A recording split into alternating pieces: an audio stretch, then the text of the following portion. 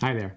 Welcome back to the shop. I'm Max, and tonight we're just going to talk about extruders. You know, come along, it'll be fun.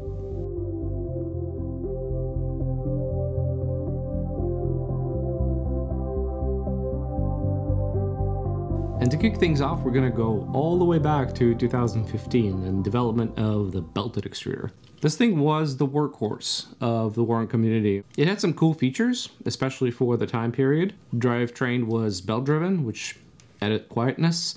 Had a trick uh, latch system that allows you to uh, quickly load and unload filament.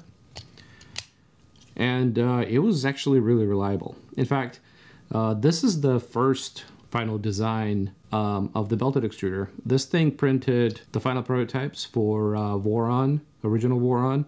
Uh, it printed all of the kits. It printed all the prototypes for 1.5 and it printed a lot of the parts for 2.0. Um, so this thing has seen many, many, many spools to the point where the input um, has worn a nice little curve into it from where the spool comes into it. It wasn't a perfect extruder by any stretch of the imagination, uh, but it did cement some core values of what a Voron extruder should be. Um, it should be reliable, it should be quiet, and it should include a latch system so you can load and unload filament quickly. Mobius extruder wasn't released um, until Voron 2.0 one release actually um, in 2018 and it became our standard issue extruder for Voron community basically. It was the first extruder that was released by Voron Design, not MZBot. And uh, it also was the first extruder, Voron extruder to feature uh, Bondtech drive, dual drive gear system. It actually used a 5mm shaft, which uh, solved the issue that belted head with uh, off-center um, drive gear because uh, Belted used uh, M5 bolt, which isn't actually 5 millimeters in diameter. Go figure. Yeah, some of the old timers of the Voron community will remember the V-Lock um, 80 tooth gear, which used uh, 40 tooth millimeter gear inside of it. Um, those uh, were hard to print, to say the least. Mobius was also an ambidextrous extruder, so um, you can have any of the two be the input or the output uh, depending on where which side of the printer you mounted it on.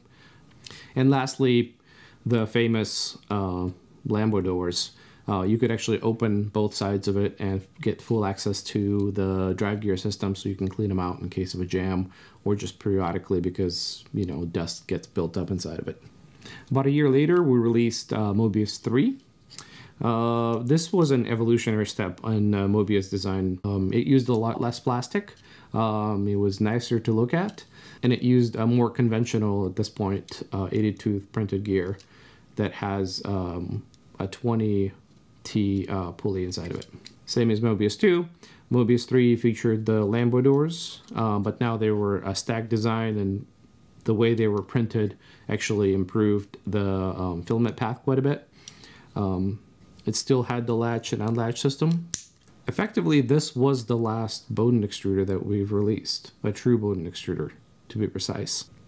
The next extruder we released was the Clockwork extruder. That's the direct feed extruder inside the um, Afterburner toolhead system. Nemgrea created the miniaturized version of it called Pocket Watch uh, to feed uh, the Voron Zero.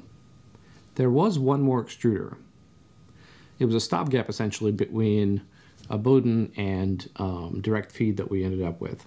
Um, it was called Jetpack, and uh, the idea was you would strap it to the back of the X-beam on the Voron 2, and it would shorten the Bowden length that the uh, extruder has to push through significantly. Sadly, by the time we figured out the last few issues that remained with that extruder, uh, Afterburner was ready for public beta, uh, Christmas of last year. So with the release of Afterburner and Clockwork, we just sidestepped all the way to direct feed and never really bothered releasing uh, Jetpack. So at this point, Mobius 3 is getting long in the tooth, um, and we need another Bowden extruder. And as some of you may know, um, Voron extruders are kind of the gateway to the Voron ecosystem.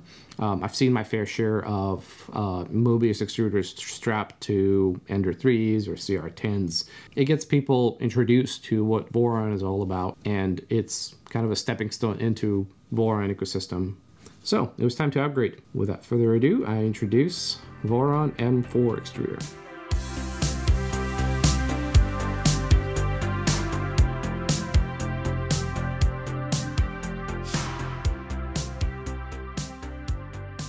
Is actually interesting.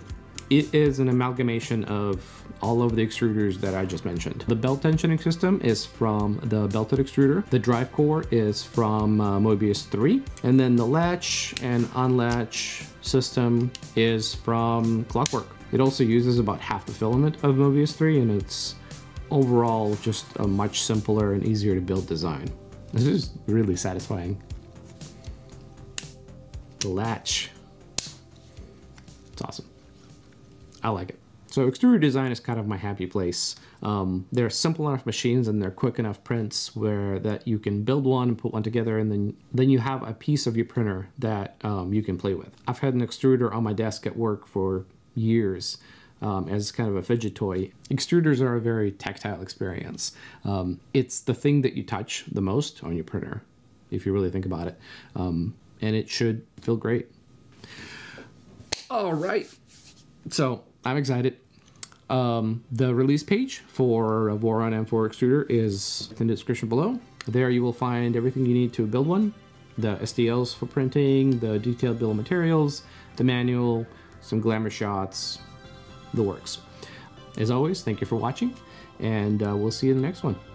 Take care.